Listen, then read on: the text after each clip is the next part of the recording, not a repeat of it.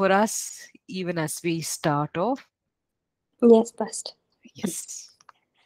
Dear Heavenly Father, we come to you under the name of Jesus. We thank you for this day. We thank you for the beautiful class that we are about to have.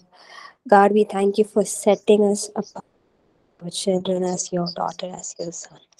God, as we are learning about holiness, uh, help us to listen to the class carefully and to put into practice so that we can glorify your name above all else. So that when people look at us, they will know that we are serving a God who is holy, who is mighty, and who is awesome.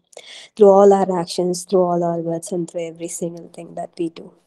I pray for all my classmates, God. I pray that uh, they will have good Wi-Fi connection throughout the session, and there won't be any obstacles, any disturbance. We will learn, and we will listen. We will learn, and we will live an amazing life. We bless Pastor Deepika. We bless every student. In Jesus' name, I pray. Amen. Amen.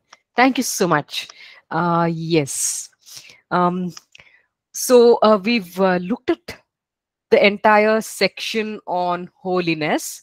Uh, we looked at different aspects. And now, you know, if you were to look at your notes, um, there's a second section called repentance, um, recovery, and restoration. So uh, we are moving into the second section uh, of this course. Um, and we'll just have maybe a couple of sessions on that and then uh, the third section would be the overcoming life you know how to live in victory um, so we would move into that um, you know about two sessions from now. So um, today uh, we will kind of begin looking at this whole um, topic of repentance and we'll you know get into more detail the next session maybe.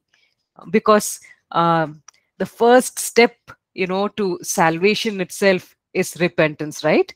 And then uh, once we are saved uh, we continue to uh, walk in holiness through daily repentance you know so um, repentance is uh, very basic to the whole idea of holiness.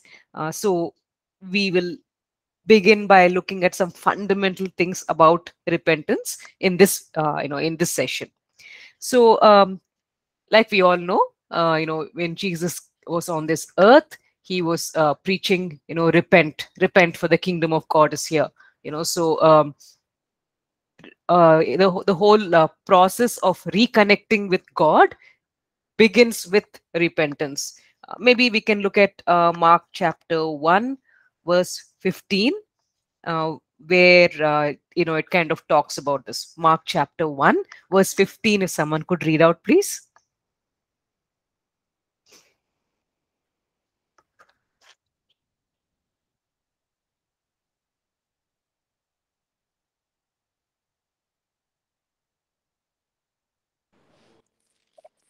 Mark, Mark chapter, chapter 1, 1. verse 15. And saying, Time, the time is fulfilled and the kingdom of God is at hand.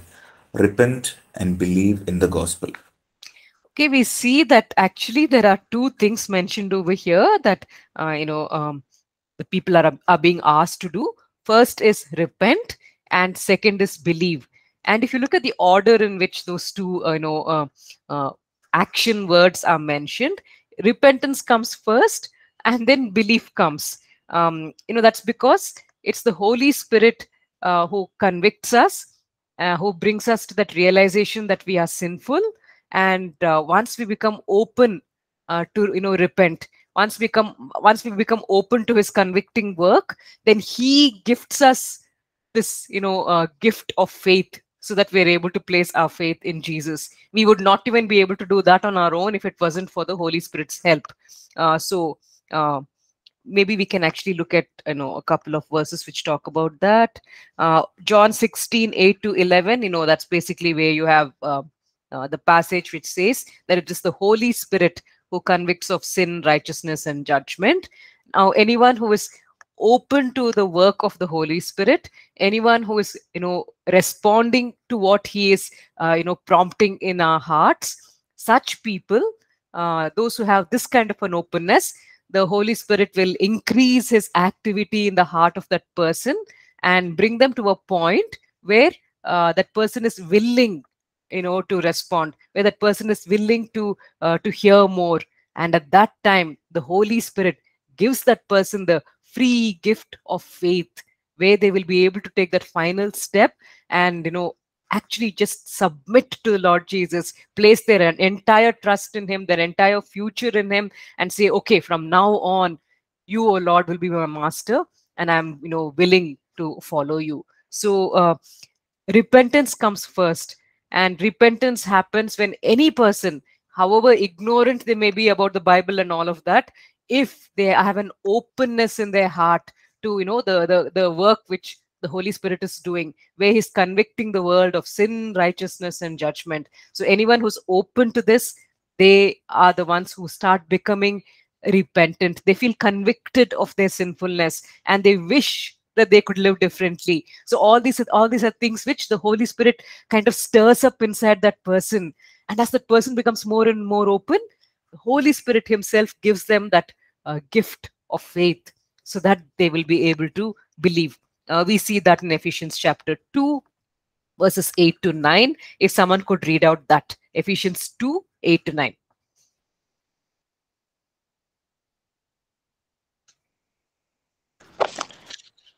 Ephesians chapter 2, verse 8 to 9.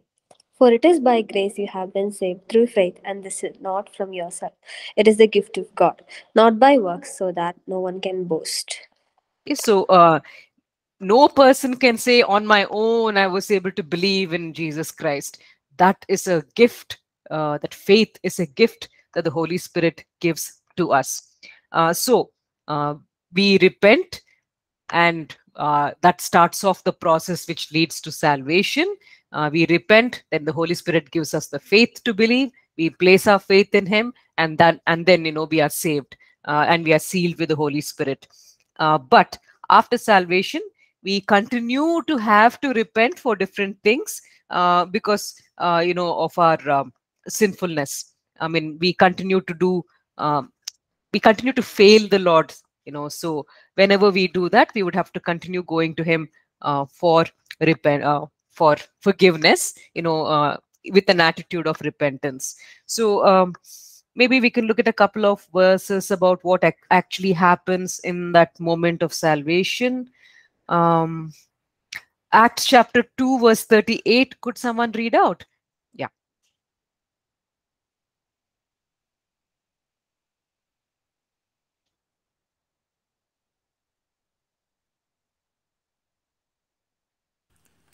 Um, then Peter said to them, Repent and let every one of you be baptized in the name of Jesus Christ for the remission of sins, and you shall receive the gift of the Holy Spirit. okay there would be a remission of sins. Those sins which we did in the past the sins that we in fact we will be doing in the future they are all you know cut off cancelled. Um, so they no longer are held against us. So we are completely forgiven. And uh, it is repentance who, that leads to that. Once we have repented and once uh, the holy spirit has given us the faith to believe in jesus christ then in that moment all our uh, sins are completely forgiven including even the future sins that we would be committing. Uh, all of that is completely forgiven so that now we can be declared completely righteous and we can you know uh, put on the righteousness of christ. Um, so at that time uh, this is what happens for us. Matthew chapter 4 verses 16 to 17 matthew 4 16 to 17 if someone could read out.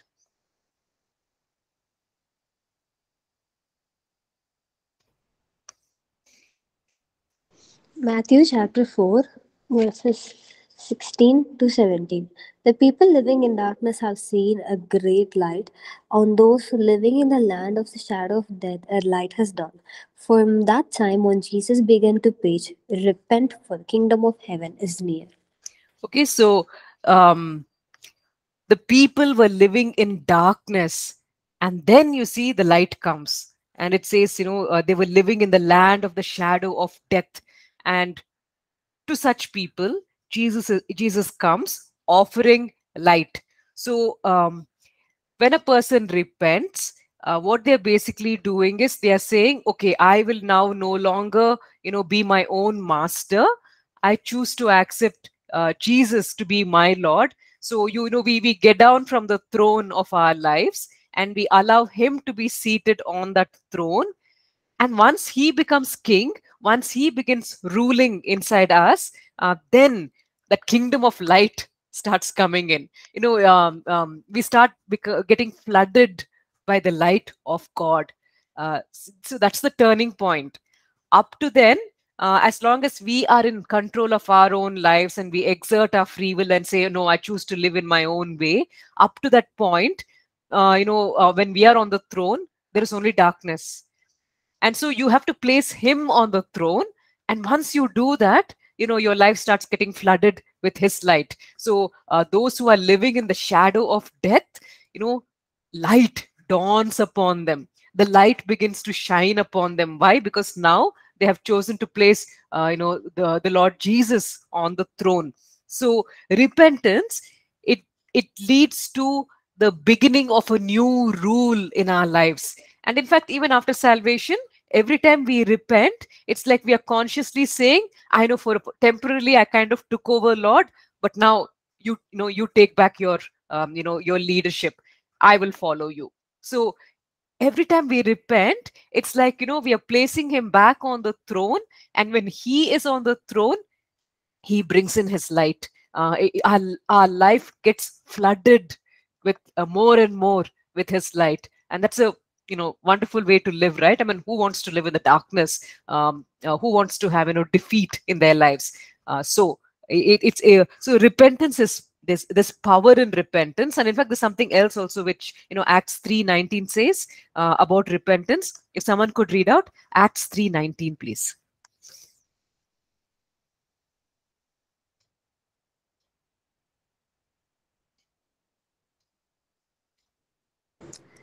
Acts chapter 3, verse 19. Repent then and turn to God so that your sins may be wiped out. The times of refreshing may come from the Lord. Okay, so that is when the times of refreshing start coming.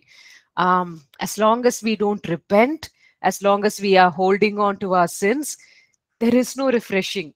There's only, um, you know, that uh, sense of guilt, and uh, also God cannot act freely on our behalf because we are blocking Him off, uh, and so um, nothing seems to work. But when we repent, then times of refreshing begin to come into our lives. The light of god's rule you know begins to um, uh, flood our lives. And that is when everything begins to change for us. So um, repentance is something that we uh, that is needed for sinners but it is also something which is very very vital for believers so that they can have these times of refreshing so that they can continue to have this uh, you know light of god uh, lighting up their lives. So in mark, chapter 2 verse 17 you know jesus is speaking uh, and he says uh, those who are well have no need of a physician but those who are sick i did not come to call the righteous but sinners to repentance. So jesus says i have come specifically to call sinners to repentance. But then he, you know later in in revelation we see that repentance is not just something that is being um uh, you know asked of sinners. God is asking repentance of even believers. And uh, we see that uh, with regard to you know those seven churches in the in, in, in the book of revelation uh, most of them were asked to repent of one thing or the other. So uh, you know we've all gone through that first uh, act of repentance where we decided that we would no longer continue in our sinful ways and we chose to submit ourselves to the lord. So that act of repentance we have finished uh, performing. But now now all these things that the, the, the churches in revelation were asked to repent of i think those things apply to us even now. So it's nice to see uh, what are the things that god asked these churches to repent of. And you know we can check our lives to see whether we too need to repent in those areas. Um, because even as you choose to repent in these areas you automatically become more holy okay so i mean it's not like as if you are pursuing holiness and saying oh i will make myself holy. I will i will do this this this and become holy. Uh, those are things that we do. But you know just these acts of repentance where you are uh, willing to uh, set right the things which are wrong that automatically leads to greater holiness. So this is something that we need to pay attention to. So you know let's just very quickly go through some of the uh, things that god asks these believers to repent of the first thing of course would be in revelation chapter 2 verse 5 uh, if someone could read out revelation 2 verse 5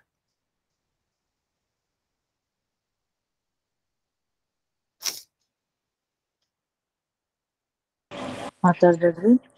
Revelation 2, chapter, fi- chapter 2, verse 5. yes Remember, therefore, from where you have fallen, repent and do the first works, or else I will come to you quickly and remove your lampstand from its place, unless you repent. Yes. Um, now, uh, you know, just for us to kind of understand what is being talked about over here, uh, if we go back to the previous chapter, Revelation chapter 1, uh, verses 12 to 20, over there we see that, um, you know, uh, John looks at Jesus standing uh, among the seven golden lampstands. Okay, so, and um, he sees that uh, Jesus is also holding seven stars in his hand. And it's like a kind of a vision you know it's like uh, it, it, it has uh, symbolic meaning you know some kind of metaphorical meaning. Uh, and uh, so then jesus explains uh, what john has seen and this is what jesus says. He says in revelation chapter 1 verse 20 the seven stars are the angels of the seven churches and the seven lampstands are the seven churches. Uh, so it's like as if uh, in front of God's throne, you have all of these uh, lamps, you know, lampstands, and each lampstand uh, represents a church. And so it's like God is saying, "My eyes are always upon my churches." You know, the ones that who are, who, that are truly God's churches, the ones who which are trying to you know live according to His values and and treat Him as Lord and Master. So it's like as if you know, um, symbolically, God has got all these lampstands in front of him, and each of them represents a church. And uh, as for the uh, seven stars in his hand, uh, here it's not talking about uh, you know angelic beings. It's talking about actual normal uh, people. Uh, the, the the the the angels of the seven churches are just basically the pastors the leaders of the seven churches and they are in his hand you know i mean um, they are that important to him so god is literally holding uh, these angels these pastors in his hands um, you know so uh, if you look in revelation chapter 2 verse 1 uh, the first message you know it's addressed to the angel of um, uh, Ephesians. So that's just basically the pastor of that particular uh, Ephesian church. And so, you know, uh, Jesus says, write, write this message to that angel, to that pastor, and, you know, tell him that these are the things that they should do. So over here, it's not talking about any angelic beings. It's just talking about the pastors of the churches. And uh, so um, here in our Revelation chapter 2, verse 5, this is the warning that God is giving that particular church. You know, and God has uh, sent the uh, wants this message written and sent to the pastor over there, uh, you know, in the, of that church to say, um, repent and do the things you did at first. And if you don't, you know, the Lord says, I will remove your lampstand from its place. So no, your church will no longer be represented in front of me. I will no longer consider your church as, you know, one of my uh, churches. It will no longer be considered part of the body of Christ. Uh, so, one thing that is very, very important in God's eyes is that uh, we should have the same level of commitment uh, that we had in the very beginning. Uh, both individually and you know as a corporate body as a church. Uh, we must continue to have the same level of loyalty and commitment uh, that we had in the uh, very beginning. So this is something that we can you know examine ourselves for.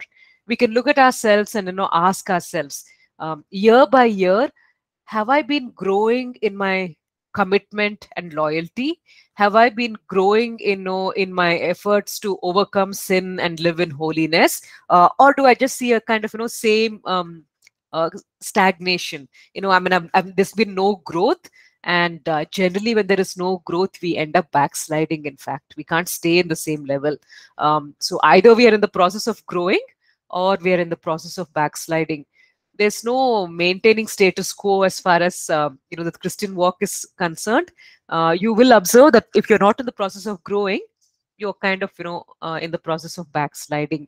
So um, so we need to first of all ask ourselves uh, am i growing uh, or have i you know uh, lost that first um, you know commitment which i had? And if that is the case then we are asked to repent of that a second thing that we believers would probably need to watch out for are all these false uh, teachings that keep coming in. Um, you know the, those people in, in the early church they had a different set of wrong doctrines troubling them. Uh, now we have a different set uh, we have all this um, teachings on hyper grace and uh, you know the focus on prosperity and wealth material wealth. Uh, so those are some of the things which are coming in. And then uh, uh, we also have wrong doctrines about uh, salvation uh, and you know um, so all of these things we need to guard ourselves against uh, all such wrong doctrines. So in revelation chapter 2 verses 15 and 16 the people are warned um, not to hold on to the wrong teachings of the nicolaitans. Um, maybe someone can read out that. Revelation chapter 2 verses 15 and 16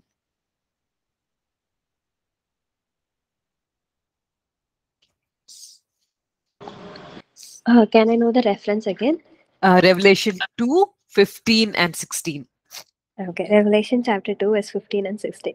Likewise, you also have those who hold to the teaching of the Nicolaitans. Repent, therefore, otherwise, I will soon come to you and will fight against them with the sword of my mouth.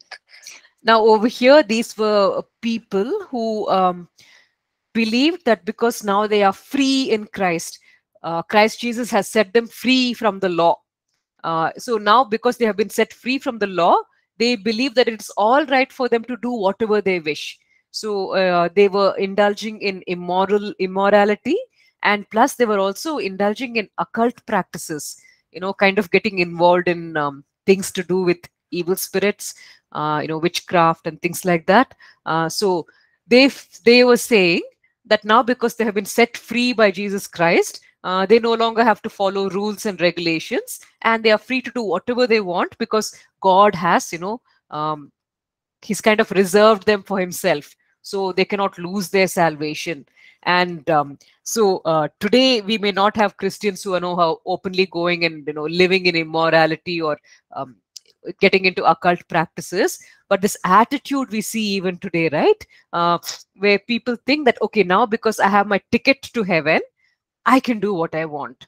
You know, my salvation is safe. My seat is reserved over there in heaven. Uh, so that's the kind of attitude. So here, uh, you know, the uh, Jesus is warning the believers in this church, and he's telling, um, you know, you need to repent of this false doctrine, this kind of false teaching that has come in. So we may not be, you know, believing in the doctrine of the Nicolaitans, but that danger is there where we think oh my salvation is you know now uh, safe and secure. So it's all right for me to compromise. It's all right for me to do my own thing because god will anyway forgive. You know that would be a very dangerous attitude. So if we see that in ourselves we need to repent.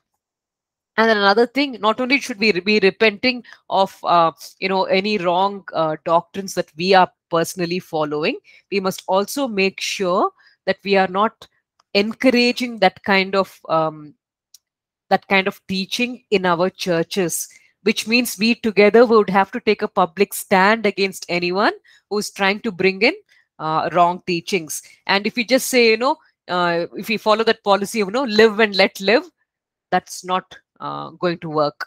So if we are aware that there's someone in the church who is going around encouraging people to practice something which is wrong then we uh, together you know uh, we who you know are faithful to the lord we will have to take a stand against that person uh, and take disciplinary action so if we have that casual attitude of okay fine that person has his own views you know it's all right um, it is not all right if that person is encouraging people to move away from the truth of God's word. It is not all right. It is not something to be tolerated. Um, so, um, holiness involves also having to take a stand. Uh, you know, even if that person is someone who is who is respected, who is influential, um, we would actually have to take a stand against that person and say, uh, you know, brother or sister, um, you cannot continue you know spreading this kind of false teachings. Uh, if you continue to do that then you know you would have to leave the church. You can no longer be part of our community. It's a very awkward step to have to take especially if that person is respected by everyone. Um, and which is what happened you know in uh, uh, the early church uh, where when you had all of these judaizers you know who came uh, to the galatian church. And uh, they were so highly respected. They were so influential. Even peter hesitated to take any action against them. Uh, rather than you know taking strict action against them and throwing them out of the church he began to kind of start using double standards. You know um, um, earlier he used to be so uh, you know uh, um, uh, loving towards the gentiles. He used to sit with them and have the lord's uh, supper along with them. And then when these very powerful influential people came there and began to you know talk about how it is important to even follow the jewish rituals what does peter do i mean imagine peter the leader of one of the major leaders of the church he begins to withdraw himself from the um, from the uh, from the Gentile believers. He no longer sits with them and eats with them. You know, he, uh, uh, and then Paul is really angry. And how does he correct the situation? He publicly addresses it. In public, he says to Peter, What you are doing is wrong.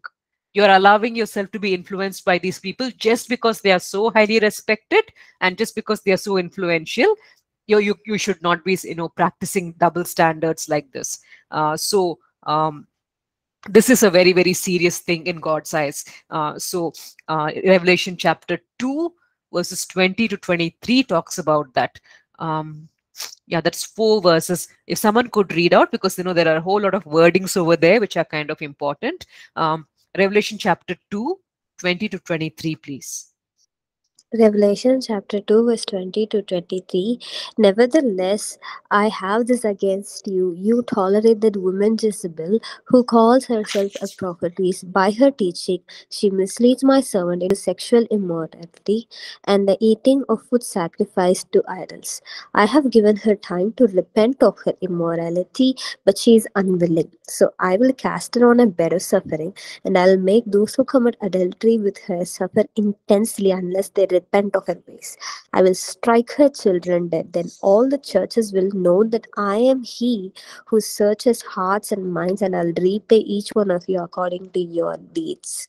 okay see on the outside this person uh, uh, you know who called herself a prophetess on the outside she probably was someone very you know influential um, she was someone who was able to catch the attention of people and you know get them to uh, follow her ways. So uh, here uh, she's called jezebel. That may not have been her name uh, but then you know it kind of refers back to the old testament jezebel who also had a very influential role in leading people into sin. So maybe you know symbolically that name is being applied over here to this particular uh, person as well. So you this so this was someone who was in a position of leadership.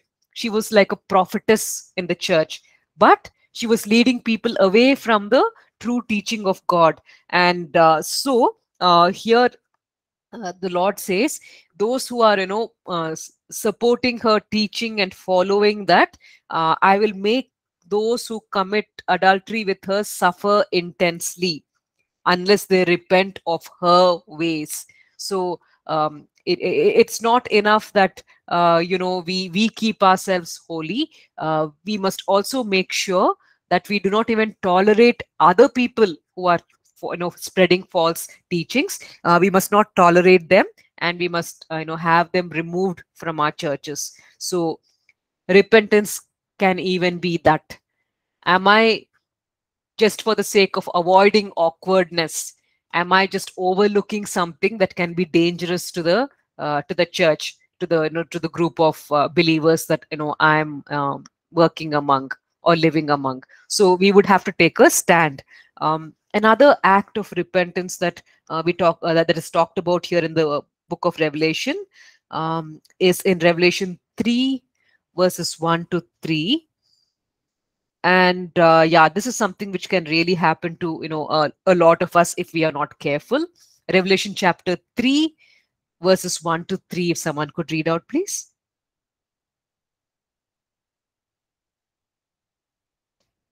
Revelation chapter 3, verse 1 to 3. To the angel of the church in Sardis, write These are the words of him who holds the seven spirits of God and the seven stars. I know your deeds, and you have a reputation of being alive, but you are dead. Wake up, strengthen what remains and is about to die, for I have not found your deeds complete in the sight of my God. Remember, therefore, what you have received, heard, obey it, and repent. But if you do not wake up, I will come like a thief, and you will not know at what time I will come to you.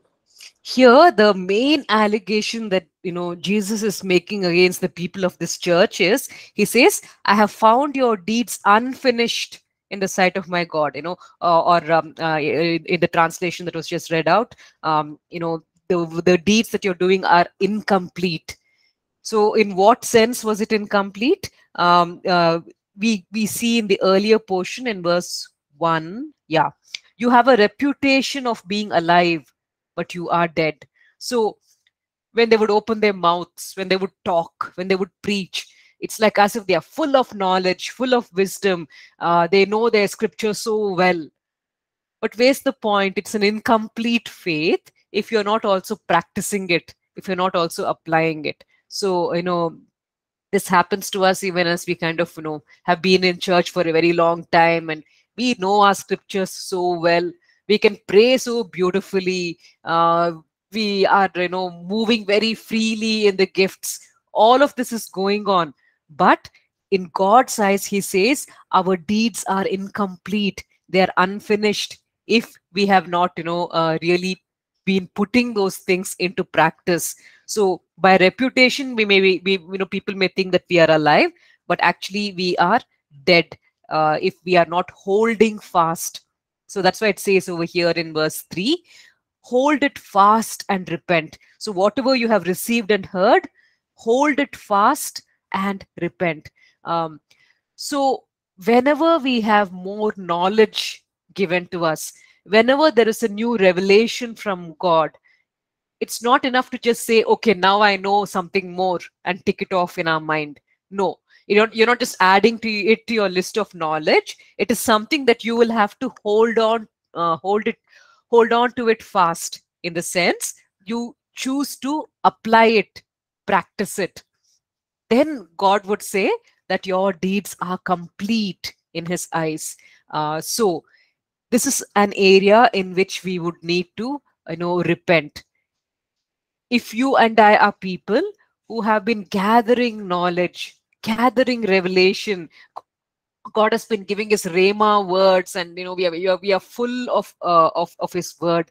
But if we are not putting it into practice if we are not holding on to it fast like it says over here then uh, we are in you know in danger of uh, god's judgment. So the lord says over here hold fast to whatever you have heard and received. Now um, this especially is something that you know applies to people uh, uh, who are teachers. You know we are teaching.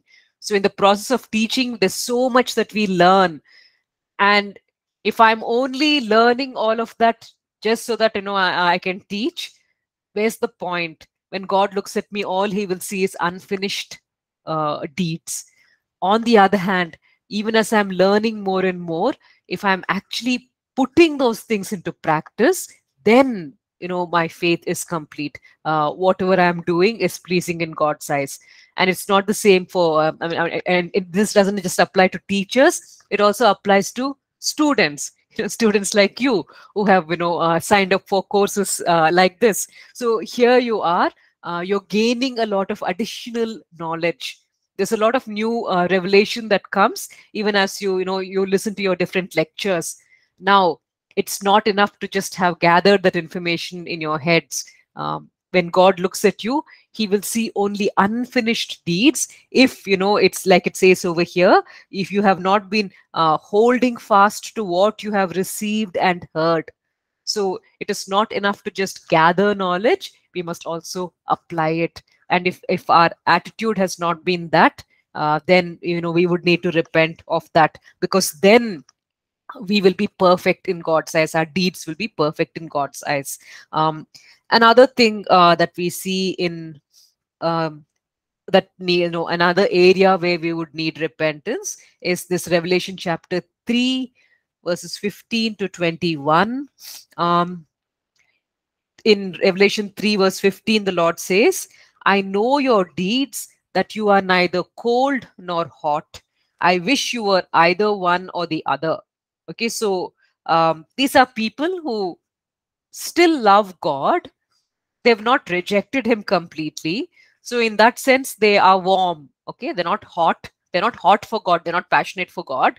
But at least they're kind of warm in the sense they are still kind they still kind of love him. They still kind of respect him but god is not satisfied with that. Uh, he says because of your attitude where you know you're kind of warm you're kind of lukewarm and not really passionate um, what is what is that uh, led to?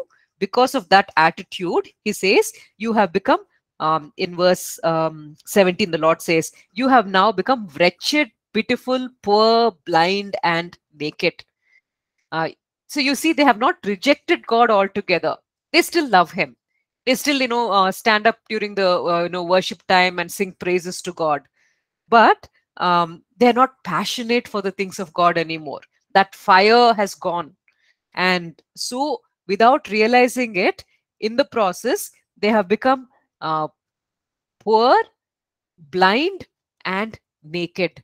Um, so without realizing it you know they're becoming blind they are no longer able to see god's word clearly catch what god is saying apply that to their lives sharpen themselves you know spiritually grow in their inner man. All that is not happening. There's serious stagnation going on and they don't even realize it because they're always saying to themselves oh we love god. We worship him. We sing praises to him. So they are under the impression that you know uh, they are uh, a very loving bunch of people but they don't realize that um, it's all just now just outward you know uh, the love is just expressed in in in in rituals in performances but it's there's no real uh, work of of improvement there's no real work of repentance where on a daily basis they're examining themselves and finding out if there's anything lacking. They're no longer hearing from the holy spirit you know who constantly um, corrects us who teaches us. So they're no longer hearing from him. Um, they are um, just going about their outward religious show you know. So here jesus says such people without you realizing it you have become poor blind and naked and uh, so you would have to you know sharpen yourself. You would have to take a serious stand against every wrong there is in your life and then that that is being hot for god. Okay so uh, lukewarmness is where you just kind of express a love for him but you don't really correct the things that need to be corrected on the other hand a person who is hot or passionate for the lord that would be a person who is on a daily basis examining themselves and sharpening themselves correcting themselves. Uh, so these are all the different things uh, that god addressed regarding those uh, churches you know in the book of revelation. And those same learnings apply to us today. In the same way he was watching them closely and he observed all these things in them in the very very same way even today he is watching us. And he's watching our churches. And he's observing. He does notice these things. So we may have this outward show of you know um, having worship and having nice uh, uh, sounding sermons.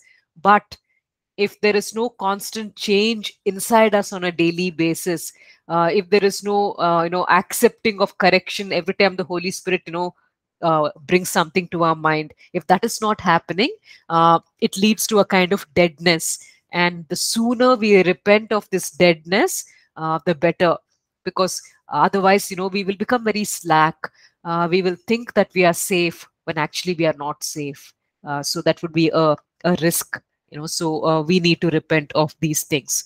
Um, moving on to another aspect of repentance. You know today what we are doing is um, there are like 12 uh, very very short short chapters you know in the in the repentance section in your notes. Uh, and some of them are like just half a page.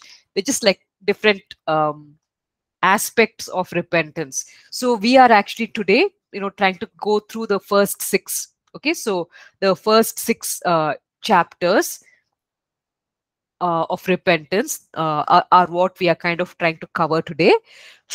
And uh, the next session you know we'll go through the other six. So sorry just kind of hold on a minute. Yeah. Uh, so just to look at uh, the definition of repentance have a clearer understanding of what is involved in that. Um, if someone could read out second peter chapter 3 verse 9 please. Second peter chapter 3 verse 9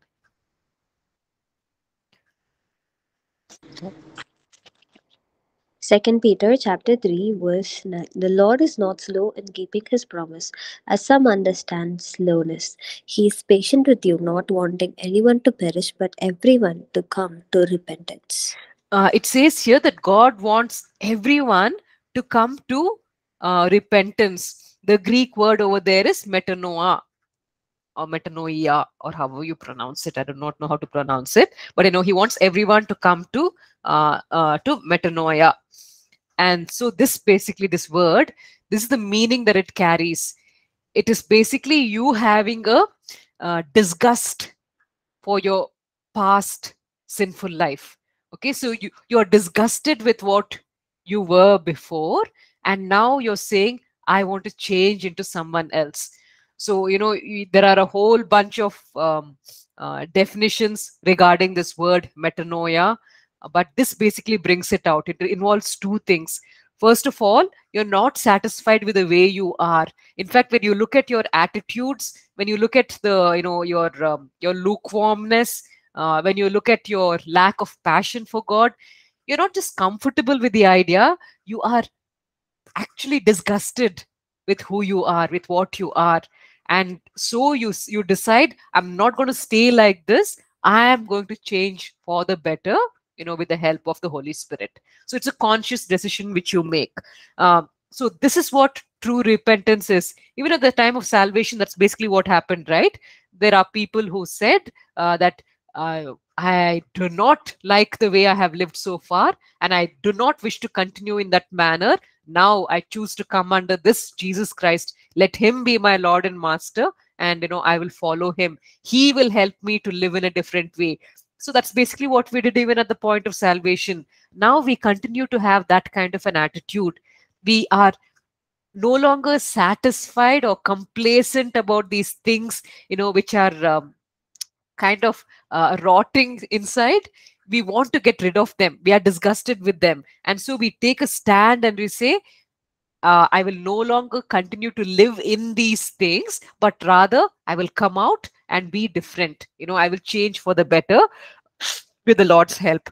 So that basically would be what metanoia is uh, is all about. Uh, isaiah 55 6 to 9 also uh, talks about repentance. Uh, what does it say? Isaiah 55 verses 6 to 9 if someone could read out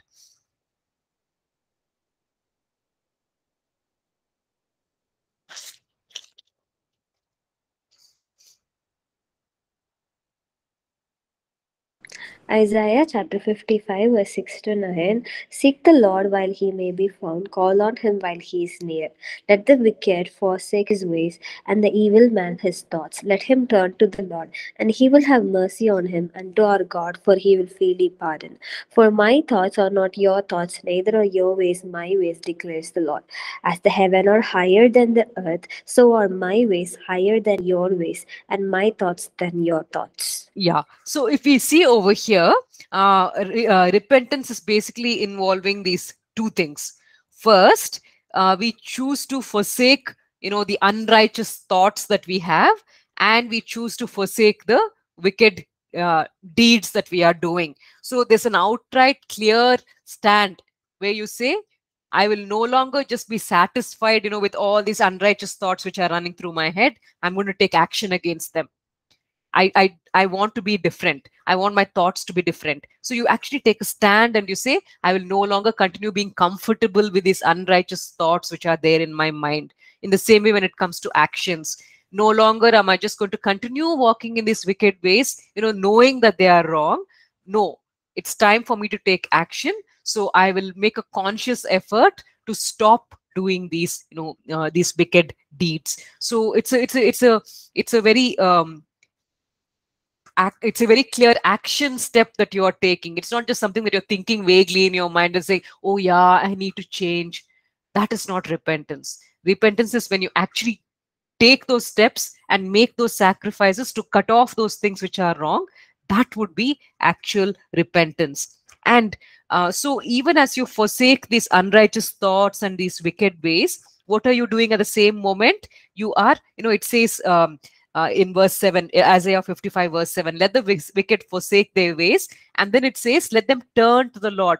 So even as you're turning away from these things which are wrong simultaneously you're also turning towards the lord and this is what you basically do. You turn to the lord and you begin to align your thoughts with his thoughts. You begin to align your ways with his ways.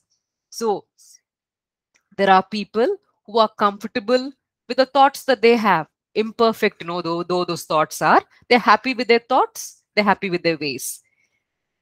That leads to spiritual stagnation.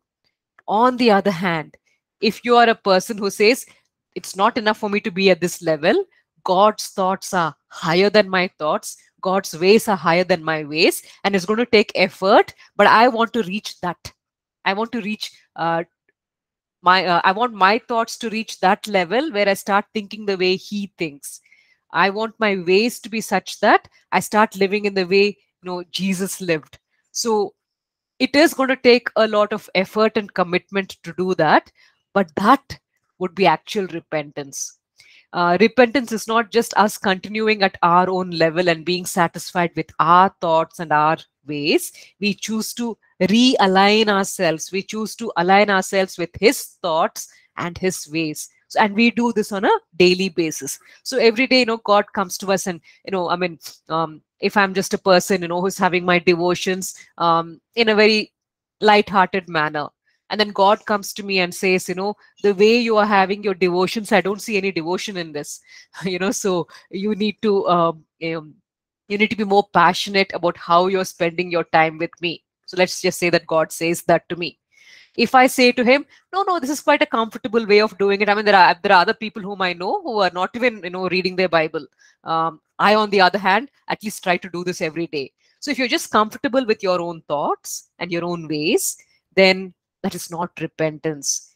God has spoken a word of correction. So what do you do now? Even though it's going to take effort, you're going to actually take that extra step and say, okay, God is not pleased with the way I am doing my devotions. So you wait on the Lord and you ask, okay, Lord, how can I improve it? How can I change this? You go to godly people and you ask them, uh, you know, um, uh, what can I do to make my, uh, you know, quiet time more meaningful? You know, so so you take these steps and you start moving towards uh, his level what he considers as actually devotion and you know interaction. So you want you want you, you want to have an actual interaction with him. So you go to him and you start reaching out to him at you know has his level in a way which will satisfy him. And then the lord would be you know uh, pleased with our uh, with with our desire to change. So repentance is, is us not being satisfied with where we are. Rep- true repentance is, is where we reach out to him and align ourselves with his way of thinking and we align ourselves with his lifestyle. That will be uh, that will take effort but that will be something which will honor god and uh, you know he will regard that as being uh, true repentance. Um, so uh, we'll actually now you know uh, go for a break you know if all of us could log back again um, by 11 o'clock. All right. So yeah, let's we can take our break now.